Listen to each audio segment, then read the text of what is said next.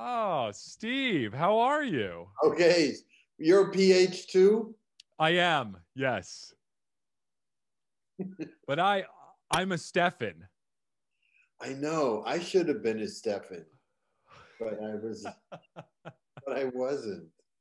I lost. You out. know, it's you know, it's so it's never too late to change. If you're a PH, you can just it's so phonetically ambiguous. You can say I'm a Stefan now. And uh, Listen, I have spent half my life correcting Bluestein, so I'm not going to have now start correcting both of them. yes, that's very true. I feel. Do you get uh, when people see the name? Do they say Stefan first or or Steven? Okay. No, I usually just go by Steve. Okay. Smart. That's smart. Maybe I should just go by Steph. Then people get Yeah. That's cool. It's a cool name, Steph. Yeah. Um, But so I what do you Go ahead. do beside this podcast? Are you a comedian? Are you a writer? that is a good question. I am a digital marketer. So I Really, I Work need for a-.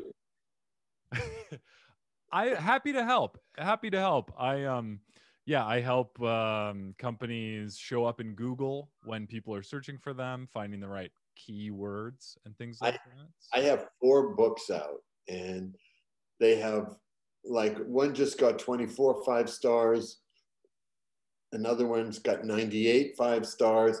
The latest one is out three weeks, it's got 29 five stars, and uh, you know, it just can't cross Mhm. over the to the you know mega mega sales.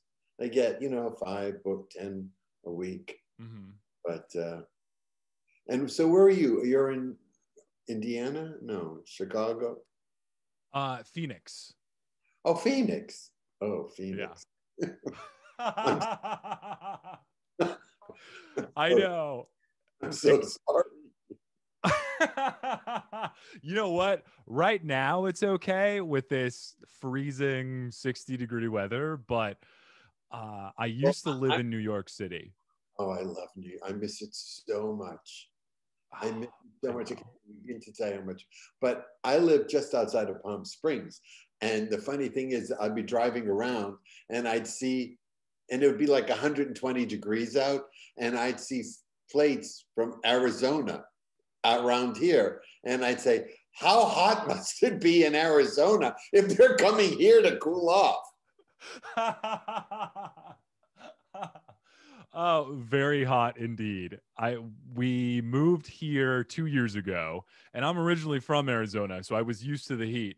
Then we went to the East Coast for about eight years, and then moved back here. And last summer was brutal. It's like a Yeah, well, hundred. It didn't. that's the summer i ahead. moved out here to move to the desert Oh wow. It was 116 the day we moved in. Two movers fainted. oh my gosh. They're carrying furniture in, and I got I have a, a, a mover in the bedroom fanning him because he's laying on the floor. oh my gosh. Yeah, oh my good. gosh. Yeah, So you- we you ended up York? Yeah, yeah. So my wife and I, we were living. We I, I lied. We actually we lived in New Jersey, but we both worked in Manhattan. So I say New York to sound cooler. Oh, that's that's that's a commute I don't want. What an hour a day each way. It was it was only half an hour. We lived near Newark, so it wasn't too bad of a commute. Oh, yeah. Oh, I see. Newark, Phoenix without the heat. exactly. Yeah. oh, I like that. I- I like that's I used to do this. I used to do this joke in my act, and I would say the, the plane landed. The captain said, uh, "Ladies and gentlemen, we've just landed in Newark, New Jersey, and I'm so sorry."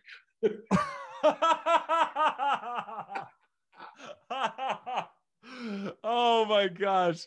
Yeah, we uh when we first moved there, we were going to live in the city and then we looked at the rent prices. We're like, all right, I guess They've just they've plummeted now. You should go back now. Oh, yeah, yeah, that's true. Probably because of the pandemic, right? Now the prices are Mhm. cheap. Oh, Free rent for two months, no down, no deposits. Yeah, I lived on 58th Street between Second and Third, and uh, Oh, nice. and and my apartment was so small. How small was it? If the toilet if the toilet seat was down, you couldn't close the bathroom door. That's how small it was. oh my gosh. I- that's How not a joke. That's real. That's real. Are we How long did you live in that apartment for? Uh, uh, about two years. Two years, and then I came out to California. Are we recording any of this? We are, yes. We Oh, good. Uh, uh, I came out to California uh, to visit a friend, and I, I I drove around Hollywood, and I said, I, I feel like I've lived here all my life, and that was the truth. It was like I, maybe in a second lifetime I had lived here, and I went back to New York. I sold my apartment. I sold the furniture. I came out with Wow. one trunk and a nine-inch television and a dog. And I got here on a Wednesday. I found an apartment on a Thursday. I got a job on a Friday. And I said to myself, well, the God must be telling me this is where I belong. And I've been here ever Oh. since. I was gonna say I couldn't wait to hear what happened Saturday with all that stuff happening. wow. I had a stroke. No. that's that's a, oh, yeah I, and i was going to say too because you were born in boston you went to emerson college Right. then moved to new york Right. then la or california right then to LA, uh, and that's where I've been ever since. I used to joke that when I graduated Emerson, I threw my cap up in the air, and by the time it hit the ground, I was in New York. That's how that's how much I wanted to get out of Boston. wow i i can understand that i love new york i Yeah, don't I know mean- boston too well but Boston's a great city if you are in college. It's a great college town. There's like, you know, 800 colleges there. And so there's always something to do and it's cultural and everything. But after that, it's, you know, you just spend the rest of your life looking for an R. yeah i i think uh it this is definitely not my joke but somebody said all the movies about boston are about people trying to get out of it Yeah, it's the so truth. I mean, the, the the lower class Boston, and that's where I grew up in a city called Chelsea, Mass, which you know, the hub of the pandemic in Boston right now. Um, Oh, it, no. it, it was it was the kind of town that either it bonded you forever or it it bar it uh, marred you forever. And for me, Mm. it bonded me to marring. You know, I was like, I have lots of friends there who I adore to this day, uh, like family. And Uh-huh.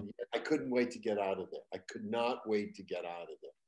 You know, Oh, and, and when man. and the funny thing is when you know i went to emerson so for three years i learned how to lose my boston accent and i go home and i'm home 15 minutes. I mean the 15 minutes and it's like hey marlene how are you your father's over here we're talking on the phone. Yeah come on sit down. It's so true. you know and and fred willard's wife mary she's she was Uh-huh. also she was also from boston. And and we used to joke because she said she was in boston and she got off the plane and she heard the fo- the following conversation she said I didn't say you were an asshole. I said your father was an asshole.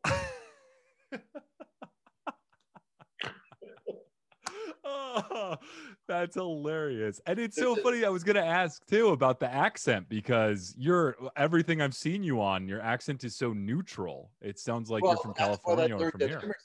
I learned that at Emerson. General American speech.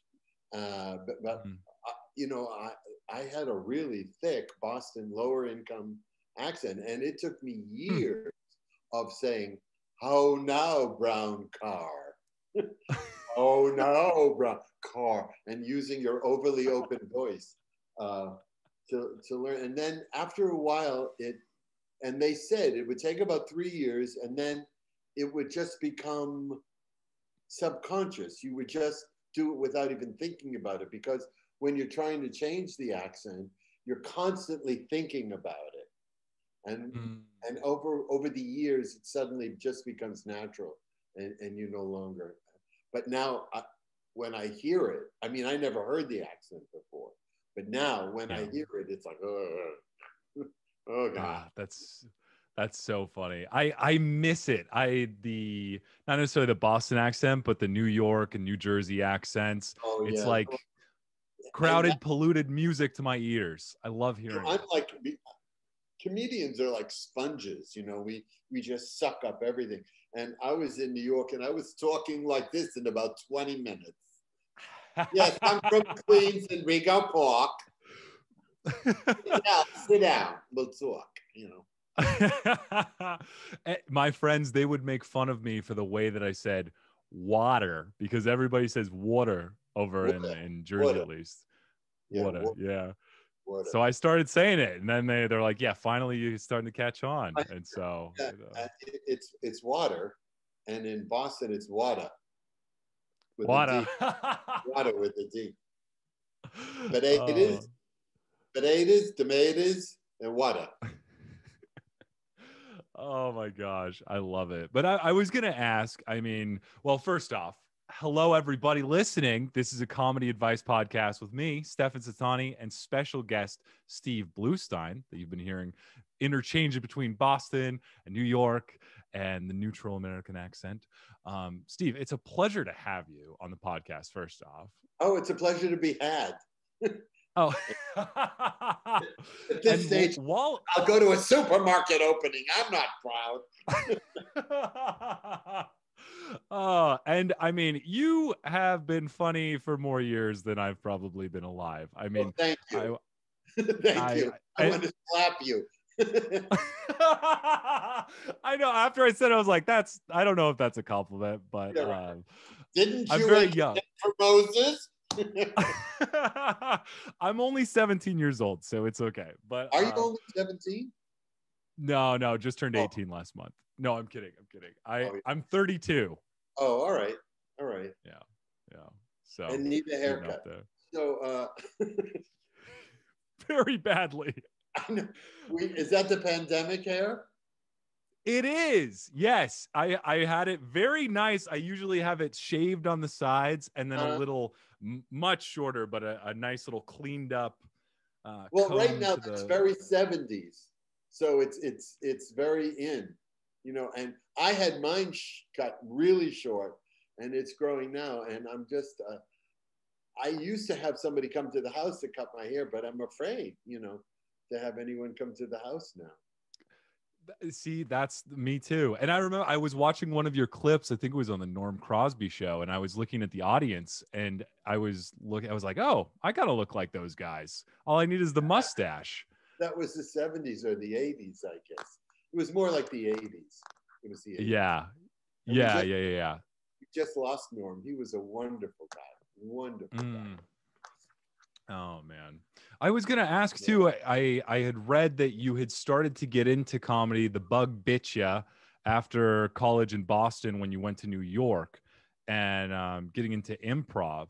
No, I'm wrong. Sorry. No. Sorry.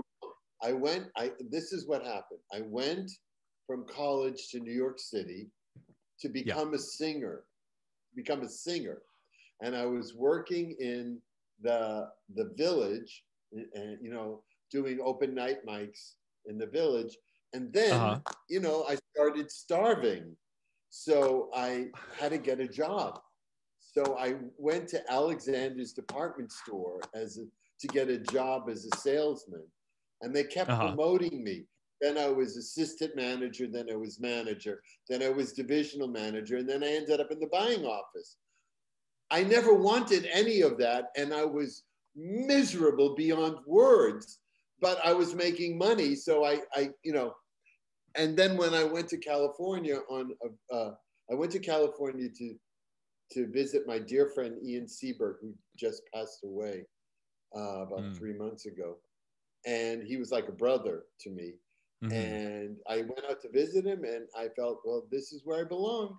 So I came out here with no job and no place to stay, and everything just fell into, and, and that's, and then I was living in an apartment wow. building. I was living in an apartment building, and I would always be making everybody laugh around the pool.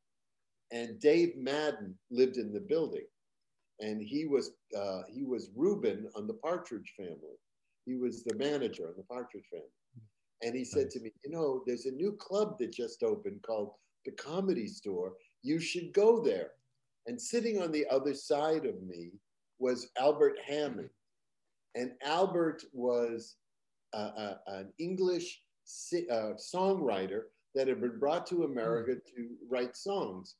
And Albert said, He's right, you should do this. So Albert Hammond and Dave Madden brought me to the comedy store for the first time. And I walked in and I sat in the audience and I watched the guys on stage and I said, Yeah, I could do that. I've been doing this all my life, you know. And so huh. I went out the next week. I had, you know, I had all these routines I was doing in college. And mm-hmm.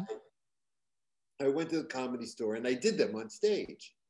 And people laughed. And Sammy Shore came up to me and he said, You keep coming back. You keep coming back because you have the sound. You have the sound. And so, huh. because he said that, I came back and I lost my job at the May Company and I became one of the original comics that at the comedy store. Me, uh, Tom Dreesen, George Miller, Jeff Altman, Elayne Boosler, uh, uh, Gary Mule Deer, you know, the that whole crew. We were the we were the original crew that started at the comedy store. Yeah, so that's how I got into wow. it. Wow. Yeah. What a way to get into it.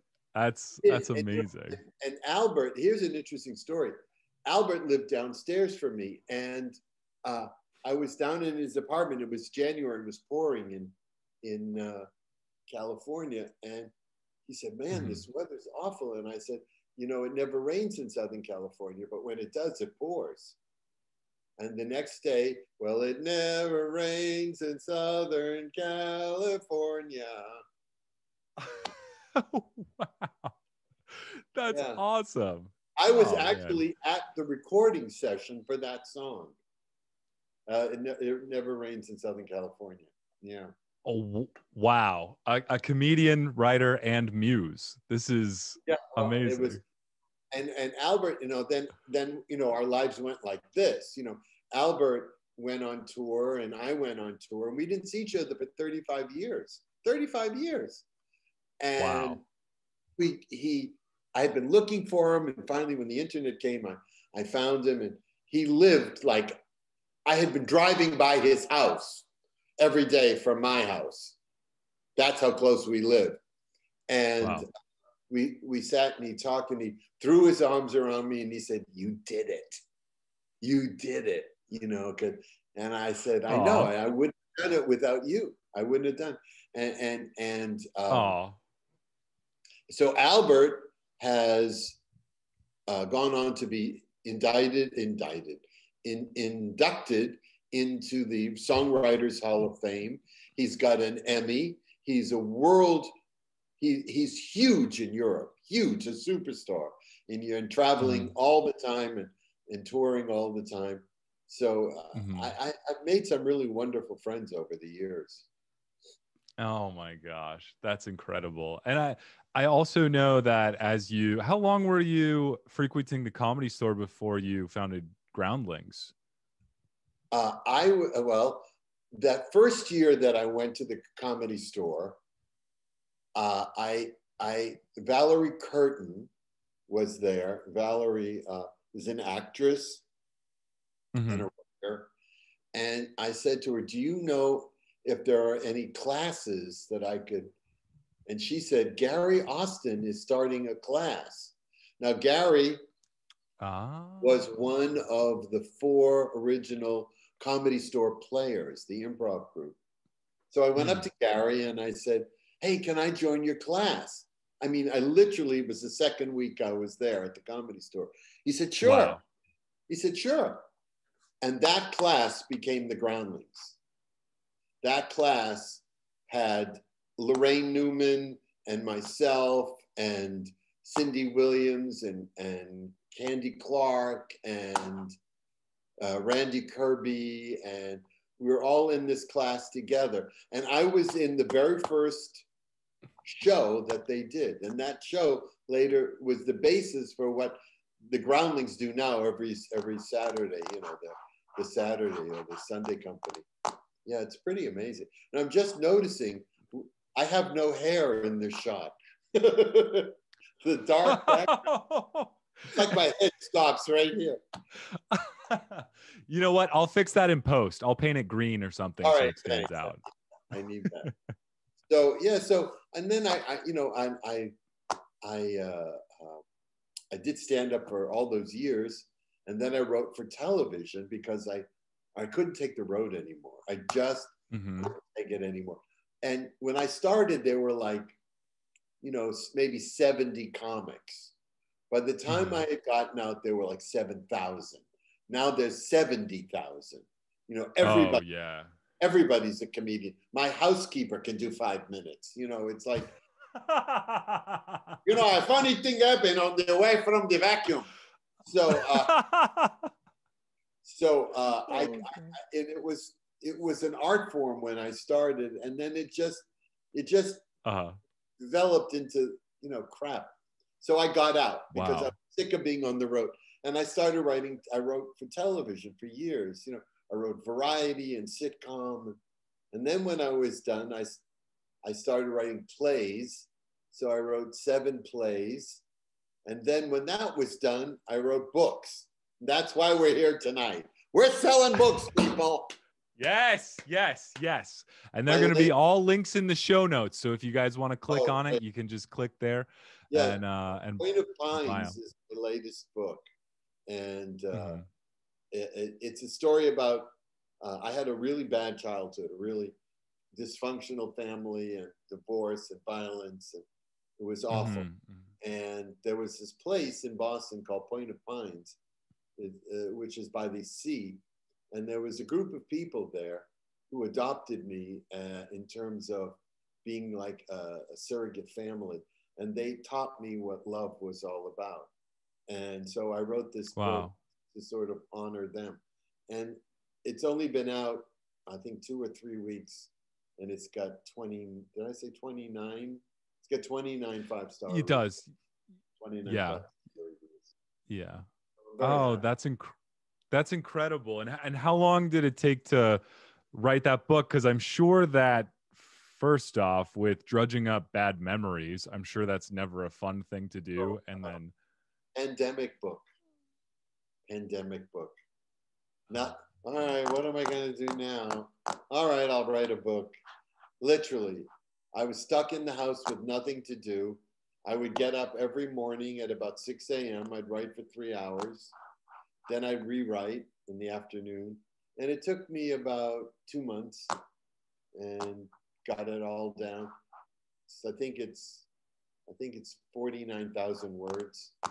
So, Wow. um, yeah. That's amazing. It was cathartic. It was really cathartic. And it was something I wanted to do. I wanted to honor those people because I love them. They're all gone now, but I, I love them a lot. oh, that's And- beautiful. Yeah, and, and I also uh, I also thought of it as a movie, but and I sent it I've sent it around, and it got some really wonderful feedback. But you know, the business is so insane anymore. It's just I I I get I give you win. I'm I'm sick of banging my head up against the wall. Thank you. You know, I'm I'm fine. I Yeah. don't- I have all this to fall back on. You know, all this back here. Oh, that that's incredible. I thought it was a virtual background at first. No, no, this Looks- is this is uh, a show I did with Elayne Boosler for the American Cancer Society. This is Wow. a production of one of my plays. Uh, this is uh, I wrote for Shoe, the um, the comic strip Shoe. This is one of Mhm. my. Uh, this is the the uh, billboard at Caesar's Palace with my name on it. Um, this is Who's Who. This is another show I did. Um, this is um, this is a production from Delaware of uh, oh, what the hell was the name of that play? It's uh, I can't remember the name of my own play. Anyway, that's a production of one of my plays. So that's my, this is the memory wall. Oh, when nice. the fire breaks out, this is the stuff you grab first. As you can see, this is my memory wall too, because it's very blank and I've got nothing except. You, have play, you have coming, coming attractions. Coming soon, an accomplishment by Coming soon. Stefan. Credits coming soon. What the hell is the name of that play? Credit. Oh, rest in pieces. Rest in peace. How could I forget rest in pieces? Uh, I- oh, I had the best. I had the best experience of my life in the uh, the Del- theater in Delaware, the Delaware Theater Company, the most professional, wonderful group of Really? people I I ever worked with. And Donna Pescow was the star uh, from um, Saturday Night Fever, and she and I have become like really good friends. And so it was it was worth, you know, it was it was the most wonderful experience of my life. That particular production. oh Yeah. my gosh. There were other productions not so fun. fun. I, I was gonna ask just because I, I know you've mentioned that you stand up, also have written for TV shows, plays, movies, the whole the whole gamut of entertainment. And where did the writing start? Did it start when you wanted to be a singer? Were you writing songs or were you writing before that? You know where it started? There's this woman in in, in uh, Los Angeles by the name of Carol Gordon Morra. Carol Morra was married to Buddy Morra. Buddy Mhm. Morra was Robin Williams, uh, Robert Klein, uh, Billy Crystal's manager, along with Wow. every other every other huge comedian. Well, she had a class, a writing class, and when I had when I had finished my last TV show, Mhm. and I was sitting around the house, Mary Willard, God rest her soul, uh, called me. She said, "What are you doing?" And I said, "Nothing. I'm looking for something to do." She said, "You ought to join Carol Moore's writing class," and that's what I did. I thought, "Oh, what a great idea! A workshop." And I I was in that workshop for 20 years before I left LA. and wow. at- Rest in Pieces was written in there. Uh, this one uh, was written there. My books were written there. And it's just a, a safe place where you get criticized, but with love. You know, so it, it's an encouraging space. And that's exactly what I needed. Uh, and, you know, I, I adore Carol. Carol's like family now. Oh, that's so cool. And, and I've been, as I've been talking with writers, it seems like a group or people in a safe space with people you trust that can give you constructive criticism and things like that is really important as you're creating these Well, masterpieces. They're beautiful It's pieces. important because unless you're not in with a group of egomaniacs who, uh, you know, because I've written on shows where seven Yeah. writers sit around a room and fight for four hours over one joke.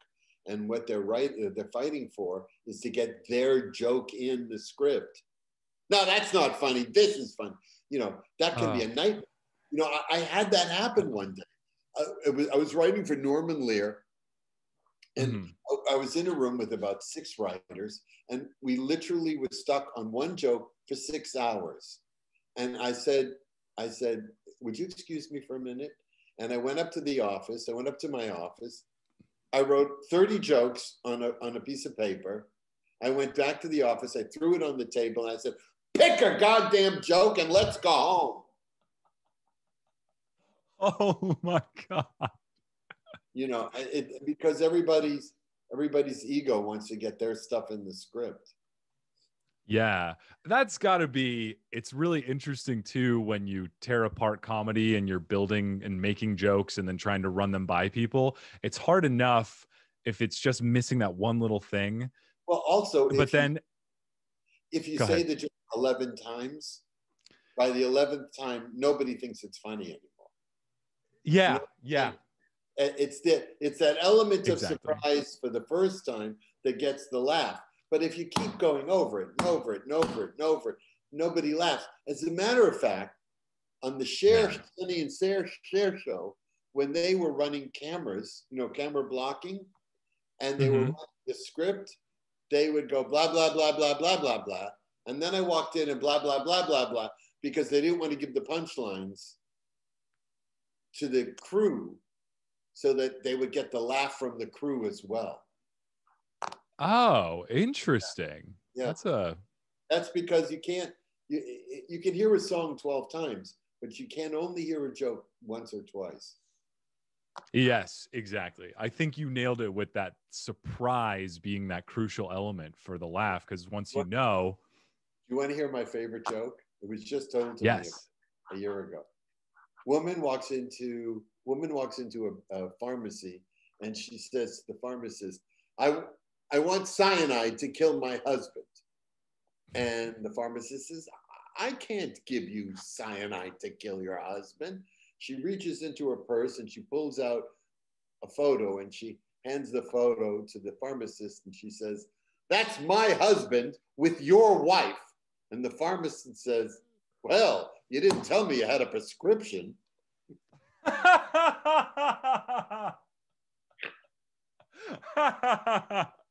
That's that is a great joke. That's my favorite new joke. that is amazing. Did yeah. you did you write that? No. Roberta okay. gave me that joke. She called me up and she said, "Do you want to hear the best joke?" And I said, "Sure." And she she uh, she told me, and I I howled, and I laugh at nothing. You know, I laugh at nothing. As a matter of, I have the most inappropriate sense of humor because I, I was at a funeral of, of a friend's father. And this guy's father was like my father. I mean, he was, I loved this man. Mm.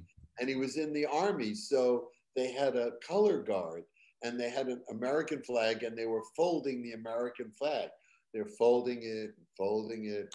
And it took them 20 minutes to fold the the flag and the you know and I just said to no one, that's how I fold my sheets. And the whole place broke up. and and, and, uh. and the, the, my friend Steven, it was his name is also Steven, turned to me and went, uh-huh. Blue shine. oh, that's hilarious. And I had heard somewhere that you all you like to take those dark maybe macabre or or um, kind of dark moments and make humor out of it, which I think yeah, is really cool. That's all my plays. I have a play about death. I have a play about suicide. I have a play about Alzheimer's. I have a play about cancer. I have a play, and they're all comedies. I love to take dark subjects and treat them like my book, Take My Prostate, Please. Please. That is, that's a book about prostate cancer and all I did was I, I had I had gone through that, and all I did was I got home every night after I would go to whatever I had to do that day, and I would just chronicle what happened that day. And it turns out it was turned out to be very funny because I just see the world different than most people. You know. That's so funny, and and I think it takes such skill. Uh, it takes skill to write comedy and be funny in general, but then also taking such dark moments that a lot of people, when they first hear about death, cancer, anything like that, they they it can trigger a, a negative emotion for them, right, and to right. be able to flip it and make it funny is leveling up from just ordinary stuff. You want to know the truth? Writing comedy is the easiest thing I do truly. Walking into a room full of strangers, that's hell. But sitting down and writing comedy is it, it's second nature. And here's an Here's an interesting story I'm going to tell you. I had, Please. I have a Russian, as opposed to all this crap I've been talking about. Um, uh, uh, I have a Russian travel agent. And Okay. so I said to him, you know, my whole family was from the USSR. And he said, where? I said, well, Odessa. And he said to me, well, then you must have a good sense of humor. I said, what are you talking about? He said, Odessans are known for their sense of humor. And there's a Hmm. comedy festival that goes back centuries that started in Odessa. And I said, Well, do you know what I do for a living? And he said, No. And I told him, and he said, Well, that makes perfect sense. And the funny thing is, the Bluestein side of my family, the Bluestein side, we all have the same sense of humor. My cousin Bobby, my cousin Dee Dee, my aunt Edie, my uncle, my uh, my cousin Dee Dee. Did I say Dee Dee? We all Oh. have that same sense of humor. It's really hilarious. I'm the only one that you know went in as a as a uh, uh, career. That cashed in on that sense of humor. Yeah, I cashed Yeah. in. My father, oh, my father had the same sense of humor. My father could do voices. He could, you know, Huh. he, yeah, he was. It was really, but he he worked with my uncle. You know, no one. Actually, my father, you know, the comedian Ben Blue, Ben Blue, the he was an old from the 40s. He Hmm. he recognized my father's talent and wanted to take my father on the road, but my Wow. my grandfather said no. And so Hmm. that was actually the model I used when my mother was so against my being in show business. I said, you know, I can either go after my dream or end up working in a stationery store, which is what my father did. And I decided I was going to go after my dream. And, you know, and my mother was a bitch. She just, she truly was. In 35 years, she never came to a single show, not one. Oh Listen. man. Said to a friend, uh, what did he write a book for? Nobody cares about his life. Literally. So What? I know, I know. So uh, that's what the Point of Pines really deals with that a lot. You know how that negativity was uh, funneled and how I how I lived with it, what happened to me because of it. So, um, and the funny thing is, even though I'm living in this mansion, you know this, and I'm, I'm okay. I still feel like I'm not successful on the inside, and that's that's Really? what yeah that's what um, you know that's my my message to any parent who has a child out there who wants to go into the arts. You have to support them. You know you have to support them. And my my mother said to me once, "I just don't find you funny." You know, it's yeah. I said, well, that's funny because Wow. the, whole the whole world does. She says, well, I don't. Oh my gosh. I know. And that was, yeah, she was, she was a narcissist. I'm learning, and uh, yeah, it was, uh, and it's not. As a matter of fact, one psychiatrist told me that I had to get the book, the narcissist, the narcissistic mother and the and the child, or something like that. And I and so I bought the book and I went and I said, "Hey, I'm on every page here." She says, "Yeah, I know. That's why I want you to read." Oh my god. Yeah. All right, we didn't have to talk. Wow. No, no, no. It's it's very interesting and and um I'm sorry if it brought up some bad feelings for you, but Oh, I it's fine. It's just it, fine.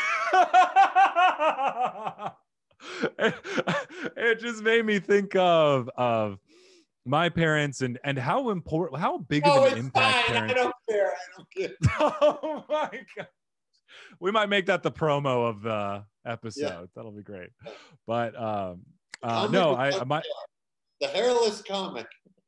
Yeah, maybe I go over here. Here, I should be sitting Uh. here. That's where I should be sitting.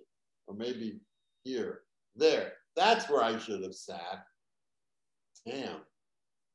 wait no I, you were good in the center All right. You know, do you are you watching CNN? Not CNN, uh, MSNBC. Everybody's got a bookcase behind them. Everybody's got a bookcase. There must be a there must be there must be a concession where they're buying bookcases for people on CNN and MSNBC, and there's always a flower pot here and a flower pot here and a bookcase. Oh my! You know what? Maybe it's like police instead of a gun and badge. You get a flower pot and a bookcase. So when you have to yeah. retire, you gotta. Uh, so, what does your wife do? Does she work? My wife, she does work. Yes, she also works. Um, at, she works at Amazon, so she's a business consultant. Yes, An Amazon consultant? she is. That's a tough job. Yeah, go ahead, buy that. Go ahead. Uh, yeah, I think we should buy that. Yeah, I, you know, uh, between Amazon and the Bank of America now, you can you can deposit checks on your iPhone. Between those Uh-huh. two things, I never have to leave the house again as long as I live, ever again. It's one day I was looking for a particular battery, a small battery for the remotes. I have awnings that come out, you know, because it's the desert and they're remote controlled. And I couldn't Yes. find the battery. And I was at like one, two, three, four store. I was in the fourth store and I said, wait a minute. I took out my iPhone. I looked on Amazon. There was the battery. Buy. And it was in, excuse me, it was in the house the next day. oh, I am so addicted to. I have personally made Jeff Be- Bezos a multi-billionaire. It's me. I. It's me. You can blame me. I. I you. sh- I, it's like an addiction. Amazon. It I, really is. no, I, I know. It's so and it's so easy to to buy. You can buy with one click. I've bought three things since we've been on the podcast. It's amazing. but it's just they they have made it so simple. And And- then if you don't like it, you know what? And if you don't like it, or it comes damaged, there's no problem. You just return it. There's. I've had stuff. I, I got. I got something. I ordered one. They sent two, and it was my fault. I clicked it twice, and they said, ah, "Just keep it." I said, "Really?" I said, "Yeah, just keep it." It cost them 16 cents to make it. Cost them three dollars to return it. So they, but that's a business model. That's a business model where you have return customers over and over. It, it's it's amazing. It's amazing. yes. Yes, know. exactly. And we're going to take a quick sponsor break from our sponsor Amazon real quick. No. Uh that they are great. They really are great. Um and I'll I'll have a link in the show notes if you want to go and buy something, get a commission from us. That's great. Well, no, you can get my you can buy my books on Amazon. That's right. Yes, exactly. If you- Steve you know- Bluestein's books. If you put my, my name on Amazon, I was I was shocked at how much stuff came up. Because over the years, you know, I did videos, I did talk shows, I did stuff. Well, they're all for sale, and there and there I am. I don't want any of it, but I, you know, but I I do want to sell my books. Oh, nice. Sell my Are, books. are are you on Barnes and Noble as well? I was on two of the books are on Barnes and Noble, but then uh, my agent had a nervous breakdown and dropped all our clients. So, uh, so I'm No. uh, last book is is self published. Oh, I think you can still. I used to work at Barnes and Noble at the corporate office in New York, and they they have the Barnes and Noble publisher where you can also self publish there. So Oh, really? Well, well, we should talk. Well, I've already self published on uh, on iTunes. I did it on iTunes. Oh, okay, okay. I'm wondering if they're. really easy. That you know the the they sell the books and they direct deposit into my into my checking account. I, I I'm telling you, I never have to leave the house again. I have a brand new Tesla. I have a brand new Tesla, right? It's two years old. It has 4,200 miles on it. I never leave the house. Never leave the house. Oh, but do you get notifications from the Tesla like an ex girlfriend? Hey, you around? You want to No, drive me, please? like we're updating we're updating the software and so they update it and you know suddenly i have a coffee maker in the car i don't you know it's like, i love the car i absolutely love the car i love the car because first of all i'm very i have solar on my house and so be, it costs me nothing to charge the car up but um, I love the car because it is the best pickup on any car I've ever driven. You know, the first Hmm. time I got on the freeway, I hit, I put my foot on the gas, and I was thrown back in the seat, and I went, "Holy crap!"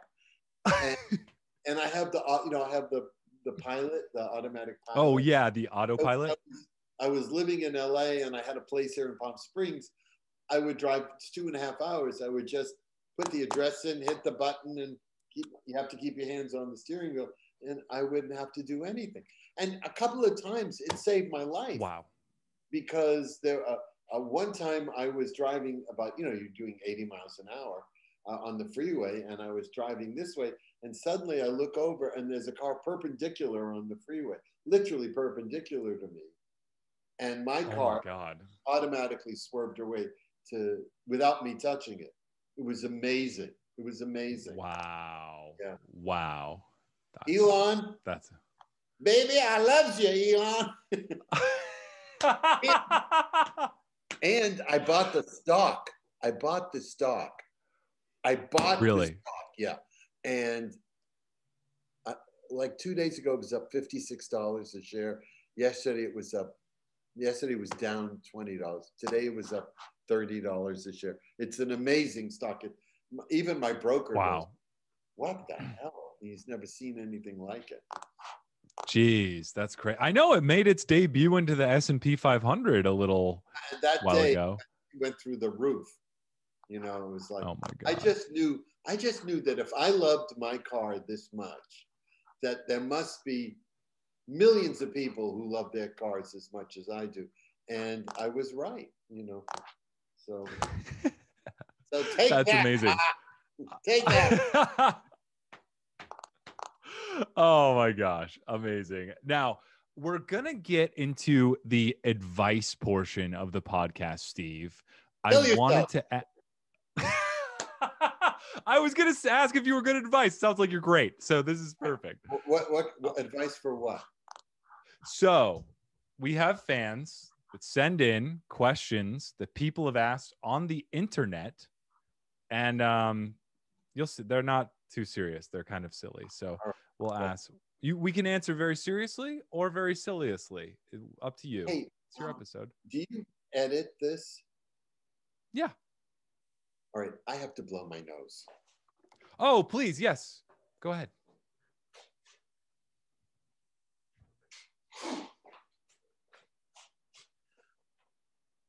You know, there's years of cocaine use. All right. Amazing. Okay, so we're gonna get into the advice. First, I like to I like to ask my guests because I mm-hmm. like to get inspired before we give advice. Do you have any inspirational quotes, Steve, that you often think back on when you're in when you're feeling down? Right or wrong, make a decision. How do you like that? Oh, I love that. I made a decision to love that because that is, it speaks to me. Whenever I'm overthinking something, I'm like, God, if I had made a decision by now, I would be five miles ahead. And that was taught to me by an uncle who I detested. He was a total piece of shit in my life. I hated the man. As a matter of fact, he's dead. I still hate him. But he taught me that one thing Huh. right or wrong, make a decision. And it's so true because if you're wrong, you learn from your mistakes. And if you're right, you learn that you, you gain self confidence knowing that you can make a proper decision. But if you vacillate, you never learn you, you never learn anything. So that's hmm. my quote. That's a that's a great quote. And you know what? I know that story you were telling when you were in the writers' room and nobody could make a decision. You went up, made 30 Right. jokes, put them down. Exactly. That's exactly right. Yeah. and you know, you know when I'm going out to shop when I'm shopping, if I put on a shirt and I look at it and I say, "Will I wear it? Do I like it? Is it does it fit me?" Then I know it's wrong because if I put on a shirt, I got love it, boom, sold. Oh, St- Steve, you're speaking my language here. I am the same. I used to be, oh, I like this kind of, and I'll take it, and then I'll never wear it. So now Right. it's like, if I don't love it when it's on, I'm not buying it. Well, that's the thing. If I have, if I'm standing in the front of a mirror, going, "Do I like it? Will I wear it?" You know, I mean, uh, and then I then it suddenly hits me. No, you didn't instantly like it, so that means you'll never wear it. Put it back on the rack. I mean, I've got Oh, shelves of clothes that I never wear because of that, and I'm Oh selling those clothes at a discount. oh, I love it. All right. Well, that's a beautiful quote. I actually I've got a quote too, but it's not by any person. It's actually by a robot. And it's called Inspirobot. So what it does is it uses AI to take some of the wisest words known to man and just mash them together for a beautiful inspirational quote. What What your it? thoughts so far? Are you, you ready to hear it? It says, if you can kidnap him, you can ask him. That's the Wow. quote. That's horrible. you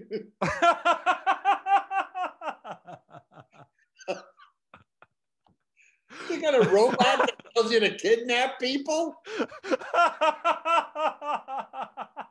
Your Honor, I was just following what the robot said. oh my god. I know I'm not If Go you ahead. can kidnap him, that's the quote? Come on. Is there another quote? Try another one. If you can. All right. Take the chance. No, go ahead. if you go so I'll put this in the show notes too. If you go to inspirobot.me, it generates a quote on the spot. All right. Um, here's a quote that I just just popped up. A lawyer is a boyfriend with lipstick. So, what are you gonna do about it? You know what? I would take I would take this site off off your off your podcast.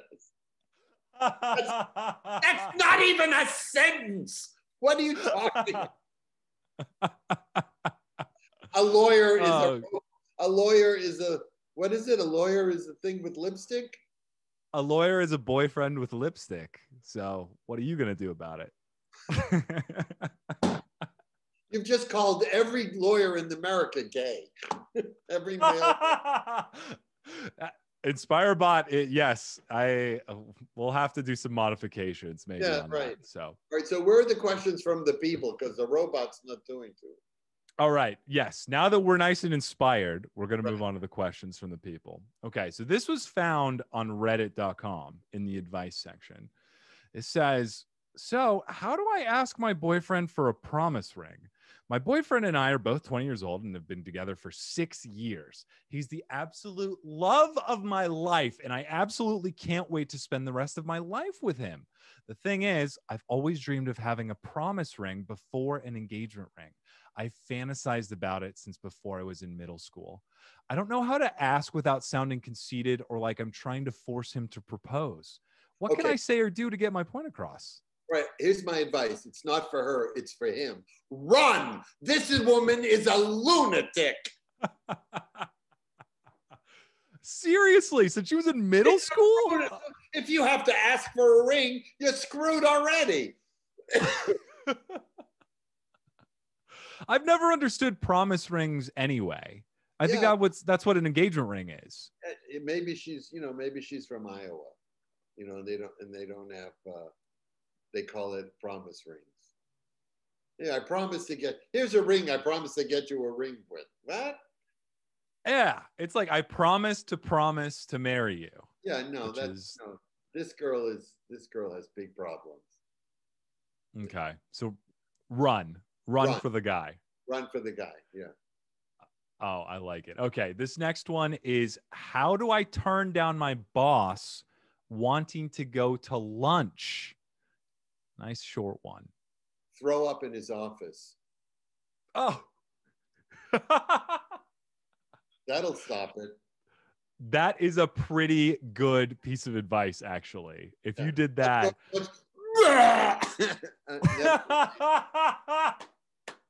Never mind. I'll go by myself. Thanks. I love it. I love it. All right. This uh this last question All right. is damaged my best friend's laptop on her birthday. I accidentally spilled a bit of drink on the laptop that she uses for online classes while I was cleaning up. I didn't tell her about it. Now she has to pay for a new motherboard. Should I tell her?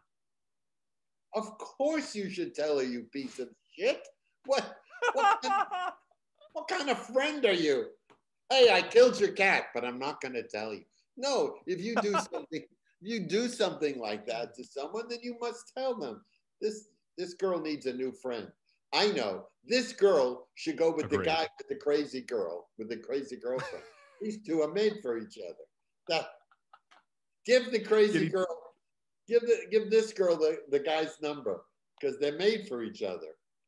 Oh, that's beautiful. And then they can get each other a nice promise ring. Hopefully, no one breaks it because then you'll never The figure money out. they save from not buying a laptop. Amazing. Well, now that we're all advised out, Steve, I just wanted to give you a huge thank you for coming on the pod, talking about yourself and giving some advice. Hey, it's it was I actually had a great time. You know, and I fell asleep. Oh, asleep. good. I fell asleep at 3:30 my time. And I woke up like I was that's why I'm drinking coffee because I don't- I'm one of those people some people take a nap and they wake up refreshed. I wake up like a corpse, you know, it's like oh, you know. I can't I had to, I had to wake up fast. But before we go, we must tell everyone that my new book is called Point of Pines and it's available on Amazon.com, Kindle, and uh, iTunes. And my other book, well, if you go to my website, stevebluestein.biz forward slash books, stevebluestein.biz forward slash books, there's a page. Click on the book you want, and it'll just take you to where you can get it. That's beautiful. And they won't even have to type it in because it's going to be in the show notes. So they can just go there and click when they hear the Perfect. episode. Perfect. And they go right so, there. how many viewers do you have? Seven. Um, I've got mom, dad, and my brothers. So And three. you have me, so that's four. How many brothers do you have? I have two brothers and two sisters. Wow, Catholic. Yeah, yes, exactly. Wow, Exactly. See, I'm an only child, and you know what? Who who did I learn was an only child? And I just said, well, that makes perfect sense.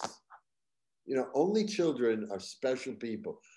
You could put me in solitary confinement for 35 years. I'd be fine. I'd find bugs. I'd play with them. You know, I'd color on the walls. You know, I, I, I'm, I self-entertain myself. I, I don't. I'm not. I don't do well in groups. And Uh-huh. somebody told me. Oh, oh, oh. Sal Mistretta, who's a Broadway actor, friend of mine. Sal Mistretta Uh-huh. is an only child. Makes perfect sense. He makes perfect sense. I've seen him in a group of people, and he's just in his own little world. That's so funny. Meanwhile, I'm creating a podcast just for the excuse to talk with people. So I uh no.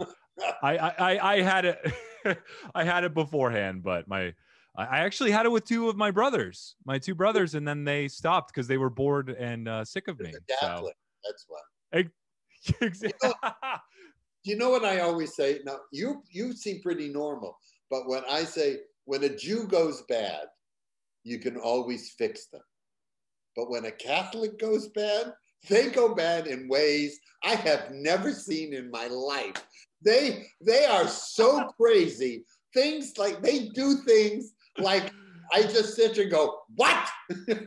I said, I'm crazy, and I've never done shit like that before. oh my god that is very accurate i think i've been i've gone a little bad but nothing crazy but Oh, i've had some friends there's some Catholic people, Catholic guilt. There's nothing. I thought Jewish guilt was bad. That's that's a piece of cake compared to Catholic guilt. Oh my God. I know. I mean, we have, I remember growing up, we had the crucifixes everywhere. So we've got a constant reminder of some guy dying, hanging on a cross and saying, I died for you, so you better be good. Right, and we killed him, and we don't even care.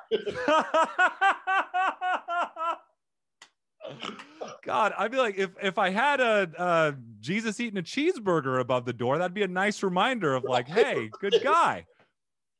God. Anyway.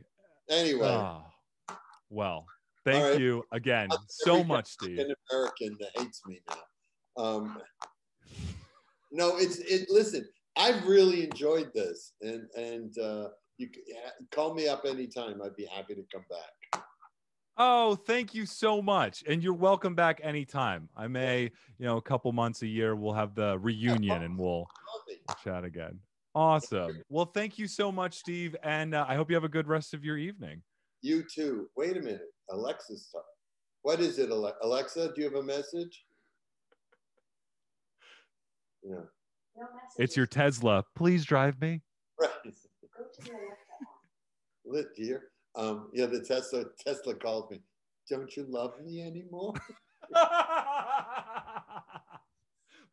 Please come back. Oh. Please come back. Other people are driving their cars. Why? oh, well, Steve, this was an absolute blast. Thank you again. Thanks for thanks for having me. Take care. awesome. You too. Bye Bye. bye.